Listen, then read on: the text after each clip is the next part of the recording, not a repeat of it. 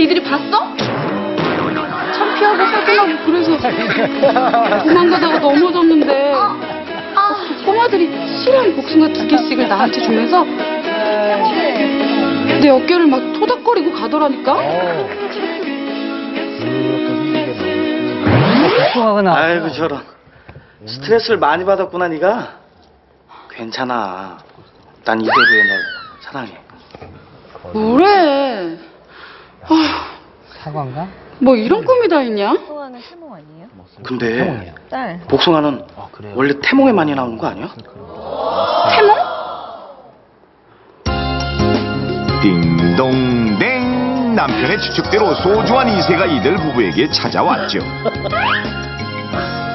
우리 무럭이 얼른 무럭 무럭 자라라 애가 무럭무럭 자라려면 내가 잘 먹어야 되는 거 알지?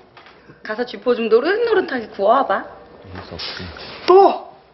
아, 이러다 우리 무럭이 지포 담는 거 아니야? 빨리. 임신 후 심한 입덧으로 음식을 잘 못 먹는 은송 씨가 유일하게 많이 먹는 건 바로 요 고소한 쥐포. 바싹 구워야 돼. 바싹. 알았어 어, 바싹 굽는 걸 좋아하는 은송 씨의 식성 탓에 매번 쥐포의 가장자리가 까맣게 탈 정도로 구웠고 은송 씨는 이런 쥐포를 임신 기간 내내 수시로 먹곤 했습니다.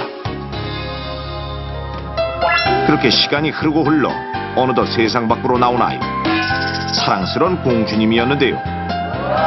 너 피곤한데 그만 보고 좀 자라. 신기해. 음. 그렇게 이쁘냐? 엄마, 솔직히 내 딸이라 정이 가는데 객관적으로 이쁘진 않은 것 같아. 아이고, 얘는 태어난 지 며칠 안 됐잖아. 너는 아기 때 더 했어. 야, 외계인같이 막 쭈죽쭈죽 해가지고 이 코는 겨우 구멍만 두 개 딱 뚫려 있었어. 어머머머. 근데 이렇게 이뻐진 거야? 얘는 날 닮았으니까 걱정하지 않아도 되겠네? 아이고, 아이고, 아이고, 참 진짜, 아이고, 아이고. 그때 외출했던 기대 씨가 들어오고 역시나 가장 반가운 건 천사 같은 딸아이죠. 아이고, 아이고, 아이고. 하지 마, 놀래. 아 괜찮아요 이러면 되게 좋아해요 맞아. 눈 동그랗게 뜨고 얼마나 좋아하는데. 이런 모습을 본 은송 씨의 어머니는 철없는 딸과 사위가 아이를 제대로 키울 수 있을지 걱정이 앞섰습니다. 아참, 아버님한테 애기 이름 받아왔어? 아 맞다. 이거 두 개 중에 하나 고르라고 하더라고요. 아름다울 가짜하고 참 진짜를 써서 가진 어때? 성이 안신데 그게 뭐야? 이름이 안가진이면. 가진 거 없이 거지처럼 살라는 거야? 뭐야? 아, 저, 그러게, 그건 좀 이상하네. 또 하나는 뭔데? 둘이요 안 줄이? 에이, 에, 왜 특이하게 안드로메다라고 듣자? 오 나쁘지 않은데? 우리 아버지한테 전해서 물어볼까? 어? 이보세요 안기대 씨, 당신 참 이름값 한다. 이름이 안 기대야. 기댈 수가 없는 남자야 아주. 한참의 고민 끝에 아이의 이름은 수리로 어렵게 결정됐습니다. 며칠 뒤 은송 씨의 산후조리를 도와준 어머니가 집으로 돌아가시는 날 아, 넌 집에 있어. 어딜 나와? 답답해서 그래. 나 쌩쌩하다니까?